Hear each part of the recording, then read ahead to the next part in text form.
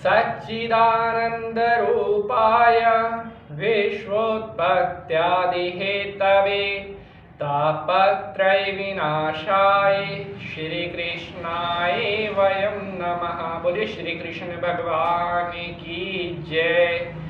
नमस्कार, आभार, सुस्वागतम। मैं पंडित नीति शास्त्री आप सभी भक्तों का आज के इस एपिसोड में बहुत बहुत स्वागत करता हूँ। उम्मीद है आप सभी स्वस्थ होंगे, मस्त होंगे और माता रानी की कृपा आपके ऊपर बनी रही। मेरे प्यारे साथियों, आज के इस एपिसोड में मैं आपको बताने वाला हूँ कि साल 2021 में कामदा एकादशी का व्रत कब और किस दिन है। आज मैं आपको बताऊँगा कि कामदा एकादशी किस समय शुरू होगी? कामदा एकादशी के समाप्त होने का क्या समय रहेगा? कामदा एकादशी का व्रत करने से क्या फल प्राप्त होता है? और कामदा एकादशी के दिन पूजा किस प्रकार से करनी चाहिए? ये सारी बातें आज के इस एपिसोड में मैं आप सभी भक्तों को बताऊँगा। तो मेरे प्यारे साथियों, आपने आज का यह एपिसोड पूरा देखना है ताकि कोई भी महत्वपूर्ण जानकारी आपसे मिस ना हो सके। तो चलिए अब विष्णु भगवान को नमस्कार करते हुए आज के एपिसोड की शुरुआत करते हैं। ओम विष्णवे नमः। मेरे प्यारे साथियों, आज हम बात कर रहे हैं कामदा एकादशी व्रत के बारे में।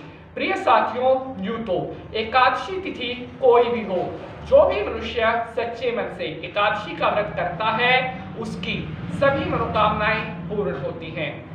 हिंदू धर्म में अगर किसी व्रत का सबसे ज़्यादा महत्व है तो वह एकादशी का व्रत है।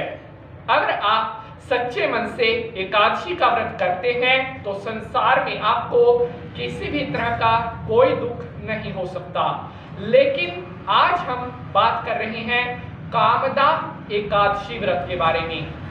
तो मेरे प्यारे साथियों, कामदा एकादशी का व्रत चैत्र के महीने में शुक्ल पक्ष की जो एकादशी तिथि होती है, उसको कामदा एकादशी का व्रत आता है। जो भी मनुष्य सच्चे मन से कामदा एकादशी का व्रत करता है, उसकी सभी मनोकामनाएँ तुरंत प्रभाव से पूर्ण होती हैं।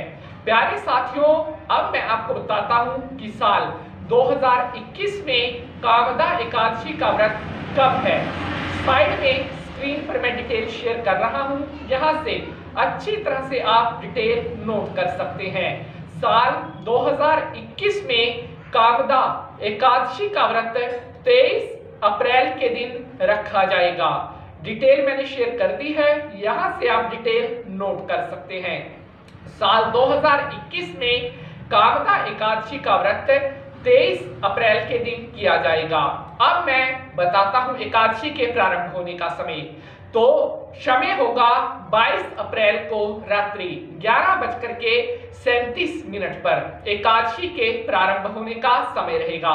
एकादशी के समाप्त होने का समय होगा 23 अप्रैल को नौ बजकर के 50 मिनट पर रात्रि पर। यह डिटेल भी मैंने स्क्रीन पर शेयर कर दी है। यहाँ से आप अच्छी तरह से डिटेल नोट कर सकते हैं।